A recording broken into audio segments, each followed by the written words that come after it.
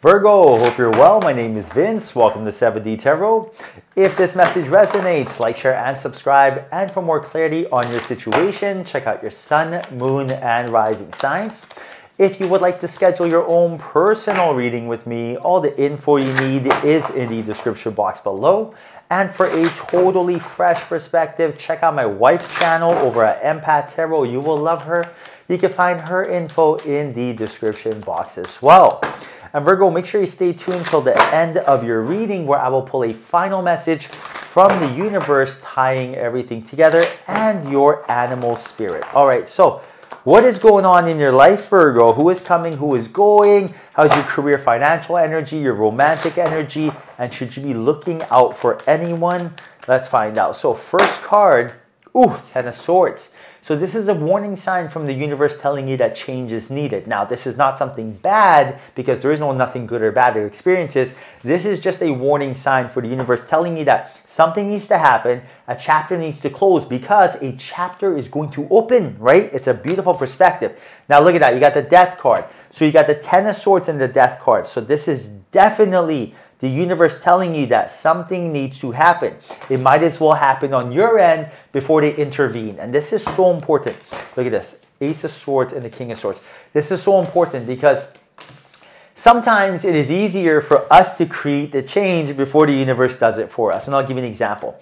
Someone who may be unhealthy, maybe maybe have to make a decision in their life like quit drinking, quit smoking, change their diet It'd be easier if they did it themselves because if they wait, wait, wait, and the universe has to show them a way, for example, give them contrast like, uh oh, I don't feel so good, then, you know, it might be less pleasurable, might be more, you know, painful. And that's what's going on here.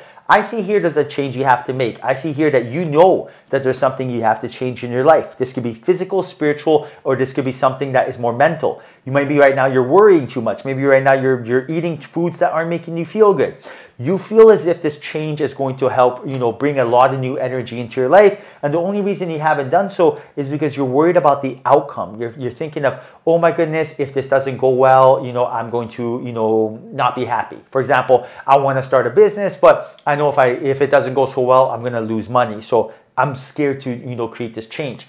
Your angels and guides are telling you that they're bringing energy, people, and opportunity that are in harmony with you, and they're going to network and collaborate and help you on this change. So, this is a beautiful energy. For example, you want to get fit, you're going to go to the gym, meet someone, and then you're going to have a group of friends to exercise with. You want to start a business, someone is going to run into you and be like, oh my goodness, I'm you know thinking of doing the same thing. We should collaborate, or I've already been doing this. Let me mentor and guide you.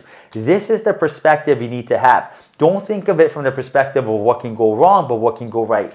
I do see here with that three cups and the three of wands that you've been waiting for someone to guide you and help you. And right now, this energy is about to manifest in your life.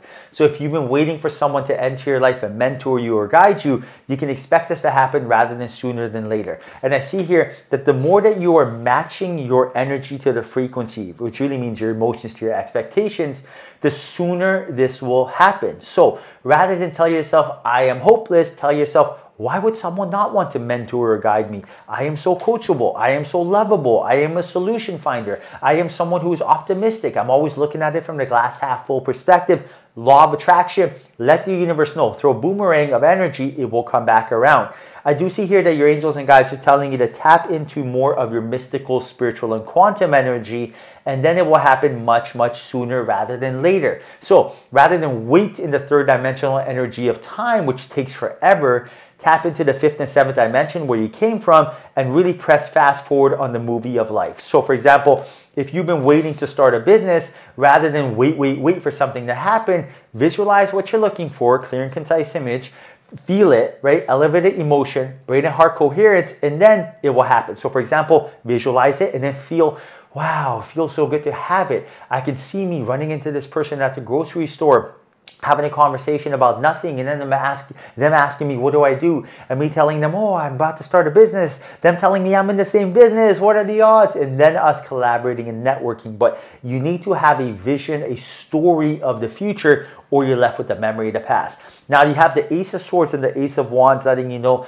that movement when you get this inspired action you have to take the leap of faith execution trumps knowledge, right? So to know something is great, but unless you execute a will greater than the programming, it's pointless. So for example, you ever watch Shark's Tank? You ever watch all the sharks? What do they talk about? They always say that it's great to have an idea, but they're investing in the entrepreneur, not the idea. So, for example, imagine you have an idea that's going to get you rich and it's going to change the world. But unless you put that idea into action, it is useless. It's just nothing more than just, you know, really just words, right? Or thoughts. All right, now, your angels and guides are telling you that there is this energy within you right now that you really you have this passion this charisma that you want to change your life and the life of your friends and family i see here that you're looking to monetize a passion do something you love and really embrace the idea of uh, certainty in your life, right? You want to know what you're looking for. This energy comes when you have a will greater than the programming. So, for example, us humans, we have 60 to 70,000 thoughts a day, and 98% of those thoughts are the same thoughts as yesterday. So the chances of you waking up, same time, eating the similar breakfast, going to a job, coming home, watching the similar shows, and going to sleep, but expecting change are really up there. So what do you have to do? You have to slip in there something different. So for example, on your lunch break, type in how to make passive income and then find a side hustle that you can start that is easier. Like for example, I did an Amazon FBA business, right? I typed in how to make passive income and all of a sudden I saw Amazon FBA. I kept my job. I did that on the side and then 12 brands later, here we are, quit my job. So we've been doing this for the last 13 years. It's never too late to start. But I do see here that unless you create that will greater than the programming, then you're going to be doing the same old, same old, expecting a different result. And right now, if you want to create change, you have to get out of your environment and your setting and get yourself grounded and start flowing again. So for me, I noticed that whenever I am doing this exact same thing as yesterday, for example, I don't feel good. But when I am learning, when I'm creating, if I'm 1% pro- uh, better than I was yesterday, that's 365% progress in a year. And I do see here that you will get the downloads and clarities by doing so. So what does this really mean? 1% progress a day is 365% progress in a year. That's 37x. Okay, that is crazy. That's as good as it gets. 1% progress is looking listening to one audiobook, right? Not the whole thing, just just a couple like minutes, whatever. It's it's looking up an affirmation. It's exercising, it's anything. Anything that is going to make you feel better than who you were yesterday. And by instilling a will greater than the programming, it will get effortless. All right, Virgo, so I am going to pull your animal spirit now. What is your animal spirit? And your animal spirit, look at that. Know your worth. It is skunk spirit. Know your worth. And that's what it comes down to. You are someone who, again, I can quantum entangle with your energy. I can feel you from here, right? You are someone who is a hard worker, dedicated. You have charisma, passion. You have this this, this poise within you that's waiting to come out, very graceful. But if I can feel this about you, you have to be able to feel this about you. You have to know what you bring to the table, right? And you have a beautiful seat at the table, but know that you've earned this. Know that you are a good person and know that you have a lot of good karma to match this energy. All right, so I'm going to get a final message for you now from the universe, Virgo. Final message for Virgo. And the message is celebrate your differences. Look at that. And this is number three. And the message is you understand that everything in life comes with an opposite. Even within yourself, you have polarity male and female, high and low, good and bad, light and dark. It is our differences that make us unique. We all come from the same collective and the same inner light within. What does this really mean?